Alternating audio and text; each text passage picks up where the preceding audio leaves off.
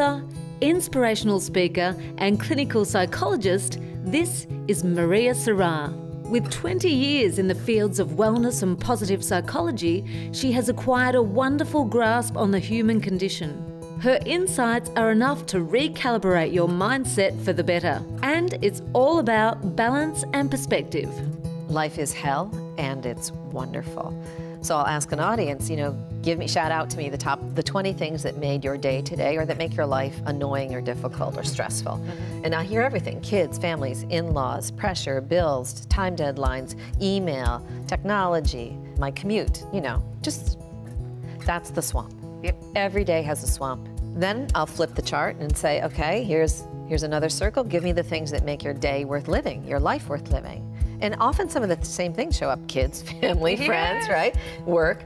And then beauty, daffodils, animals, um, music, sunshine. And when you overlay the swamp on, on the pond and you just keep flipping back and forth, what we begin to understand is every day has a swamp and every day has a pond. Yes. And the most resilient of us honor, respect, take care of the swamp, mm -hmm. but we focus on the pond.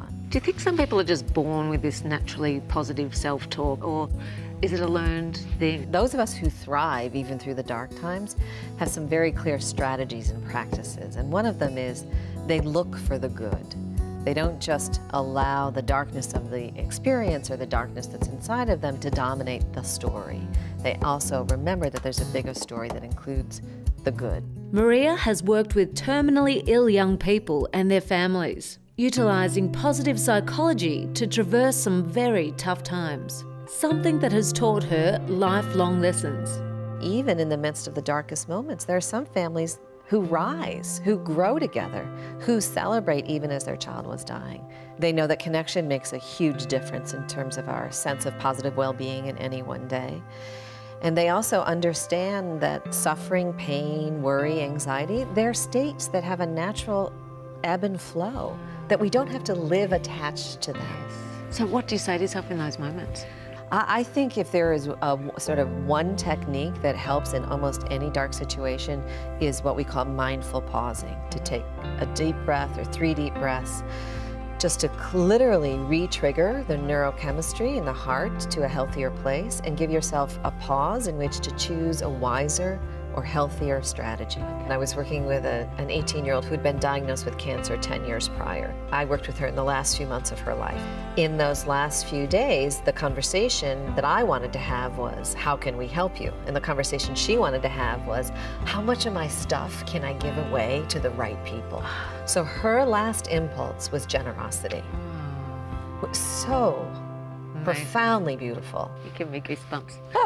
I love it. Even in the moments of my darkest pain, such as when after my brother died, I didn't want to be walking around my house with my children completely flooded with pain all the time. I, I wanted them to see pain and understand that it's real and natural and also experience the other side of life, which is equally true. Mm -hmm. So I chose a practice of getting up every morning at 6 o'clock to dance in front of MTV, just for 10 minutes. And every now and then, John Bon Jovi shows up. And that just makes Which makes day. me happy. Whether he shows up or not, the thought that he might made me happy, right? So resilience there is in the, again, back to the daily choosing of practices or perspectives that lift you, that enliven you, that give you that sense of, okay, you can have 80% of my day, but 20% is for me. You know, to put aside time for, for serenity, put aside time for joy, put aside time for gratitude, put aside time for a bubble bath. Mm. Just something that replenishes the yes. spirit. And know that as you build resilience, as you build a sort of platform within yourself of positivity and capacity, you also are then able to give that to those around you.